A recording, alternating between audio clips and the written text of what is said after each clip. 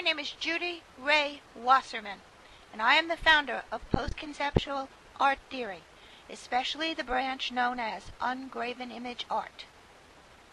Post-conceptual art uses symbols for strokes. Here is my Essence self-portrait. But before we get into the radical new Essence portraiture, let's first quickly cover a little of the history of portraiture itself. The first portraits were masks, or were painted and carved in caves and on rocks, or were statues created by tribal spiritual leaders to depict powerful spirits or gods.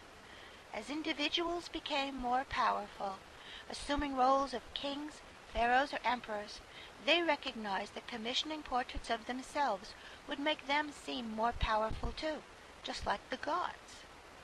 Alexander the Great was the first to place his portrait on coins, thus helping spread his fame and unite his empire.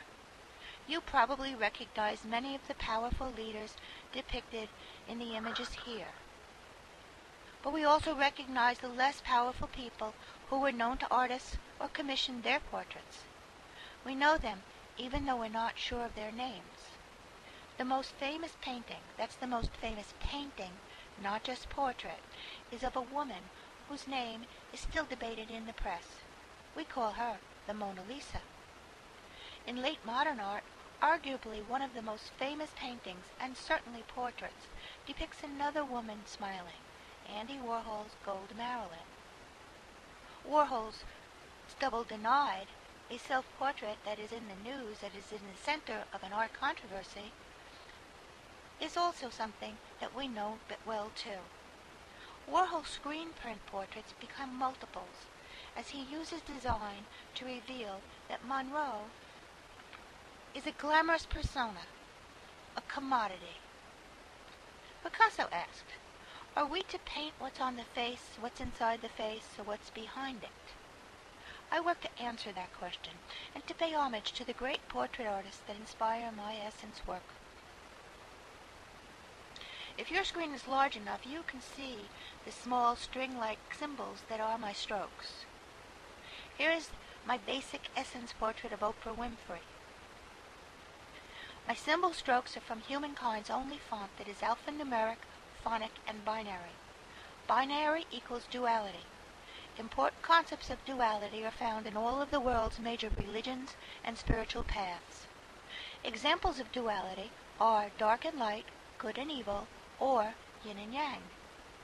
This set of symbols represents the essences of the physical universe which are also known as strings in elementary physics. This, the basic theology of all denominations and branches of Christians and Jews says that these symbols are the letters of the words of the Creator who speak our universe into existence by saying, Let there be light. Van Gogh said, I want to paint men and women with something of the external, which the halo used to symbolize, and which we now seek to give by actual radiance and vibrancy of our colorings.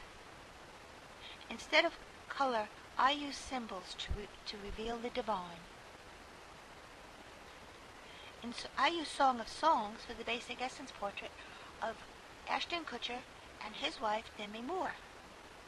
This unites them as a pair. The Ten Commandments, also known as Exodus 20, are the basis of the law of the United States and much of the Western world. So I use it for the basic essence portraits of our presidents, including Barack Obama, George Washington, and Abraham Lincoln. All of the texts are chosen as they seem to hold significance about the subjects portrayed. My own personal basic essence portrait uses Psalm 19, which is my favorite song. It's also the one I used for the Andy Warhol portrait. The Warhol portrait was used on Twitter by Interview Magazine, which he happens to have founded. Now we can take his essence portrait of Warhol and create another kind of essence portrait using color. This one is called Double Undenied and it refers to his own Double Denied. There's a gold Oprah, much like the one of Monroe. Oprah is the most recognized media star in our time. On the Rembrandt basic portrait, the background is actually taken from one of Rembrandt's own self-portraits. On the Lincoln portrait, you will notice that the it, it's full of symbology. His lapels on his jacket are the colors of the blue and gray uniforms of the North and the South. Lincoln's tie reminds us of the five dollar bills he appears on, but also the ongoing financial problems with, that were like a noose around his neck, leading to the war, existing throughout the war, and then following in the Reconstruction. The right side of Lincoln's face is the color of granite, reminding us of his rock-like fortitude, but also pointing to Mount Rushmore. Note the blood-red strokes on his mouth, his ear, and under his right eye. That references that Lincoln spoke of, heard about, saw, and anguished over a very bloody war. Lincoln said about a portrait of his, quote, I presume, sir, in painting your beautiful portrait, that you took your idea from me, of me, from my principles, and not from my person. That speaks of essence portraits, which are not just about the external of the person, but the internal also. You'll see on Obama's essence portrait that he stands before the avatar he used on the Twitter account, which helped him win the election. Notice his blue shadows around him echoes the blue states and the Republicans that continue to cast their shadow over his plans. These are famous people that we recognize, but portraits also help introduce us to people and immortalize people who are not necessarily well known in their own time, but are either close with the artist or have commissioned their portrait. People who commissioned portraits uh, or were known by artists such as Rembrandt, Monet, Van Gogh, or Warhol achieved visual immortality.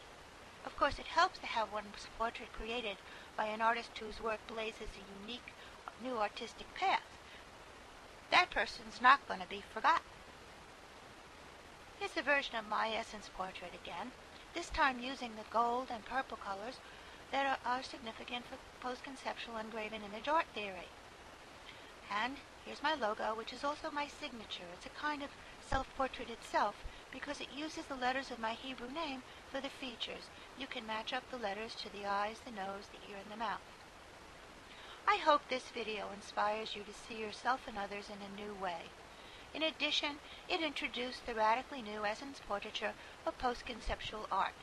To discover more about post-conceptual art and essence portraiture, please go to ungravenimage.com. To see more of the essence portraiture, click on the essence portrait tabs in the menu. Thank you for watching. My name is Judy Rey Wasserman.